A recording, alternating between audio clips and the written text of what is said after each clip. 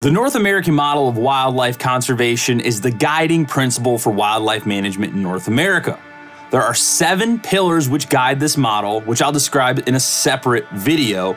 Recently in Michigan, Pillar 6, which is science is the proper tool to discharge wildlife policy, has recently been violated by the Natural Resources Commission, otherwise known as the NRC, who caved to perceived public pressures and closed three months of coyote hunting season with no scientific backing. I needed to understand better how this would affect hunters and anglers in the state of Michigan, where I grew up. So I talked to the staff at Michigan United Conservation Clubs, MUCC, to clarify the issue. In this three part episode, we will learn how this affects not only Michigan, but potentially the rest of the North American continent. Amy Trotter is the Chief Executive Officer of MUCC, and she lays out why we cannot manage wildlife based on public perception. There is a proposal before the Natural Resources Commission to actually shorten the coyote season through the period of April 15th through July 15th. Previously, and since 2016, we've had a year round season here in Michigan for coyotes. And the reason being is because MUCC, and along with a lot of other hunting and trapping groups, advocated for that. We supported it because we wanted to have the most tools in the toolbox for wildlife management that we could. And unfortunately, the Natural Resources Commission chose public perception rather than biological science as a reason to justify closing it during that April to July period. So obviously, MUCC disagrees with this change that was just put forward by the Natural Resources Commission. We are actually taking action to file an appeal on that decision. Um, we've filed the, that in Ingham County just this week. Um, in a parallel uh, transaction, the Michigan Trappers and Predator Callers Association has also filed a, filed a very similar appeal in Mackinac County. Um, this is going to take time, though. We're we're now requesting the administrative record of the decision so that we can see basically what went into the Natural Resources Commission decision and also what might not be there. This is way bigger than coyotes for us here in Michigan because the commission in taking this action said that public perception was more important than sound scientific management. They weighed that public perception piece much more strongly. And they didn't even give any evidence about the public perception. They didn't have any data to back that up either. That was all just uh, assumptions uh, and and reaction to you know a handful of people. So what does that mean? You know. There's a lot of things that hunters and trappers do that are perhaps unpopular. Baiting, for instance, for bears, running hounds, trapping in general. You know, all of those things to the non hunting public or the anti hunting public are extremely divisive. You know, those are things that people don't understand. You know, I had the opportunity to go to Trappers College and learn in depth for a whole week about the tools of trapping and how scientific it is, how how precise you have to be and how you really have to get in the mind of these animals. So hunters and trappers get it, but the outside public absolutely doesn't. And again, we don't care, we shouldn't care when it comes to wildlife management about the motivations of individuals. Like, I don't care if they want the fur for a fur coat or if they're gonna sell the fur. I don't care, you know, if they're gonna eat the meat or if they're gonna give it to someone else. There's there's all these things that again, those are public perceptions. That's not how we should manage though our population public perception varies. It, it varies based on your own personal values, your upbringing, your experiences. And that's the whole reason for Proposal G from 1996 is that we wouldn't base wildlife management decisions on public perceptions, but instead on sound scientific management data that suggests, uh, you know, again, what we should be doing, how to not harm the resource, how to provide maximum opportunity for hunting, trapping, and also all the tools in the toolbox for wildlife management.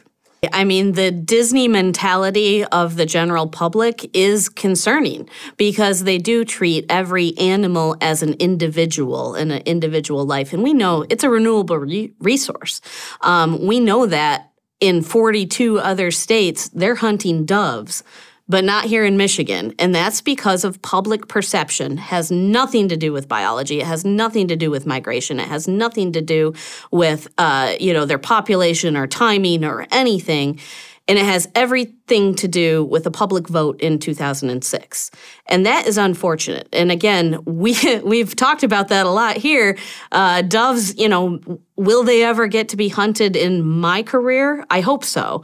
Uh, but it is hard to overcome when there's been a public vote um, on on a species that somehow again due to public perception that they're you know, a, a, biblical symbol or a symbol of love or whatever. Uh, that's what's driving the dove vote. They think some people think they're too small to eat. They're too small to be, you know, uh, to be a game species. But so are teal, and they're delicious.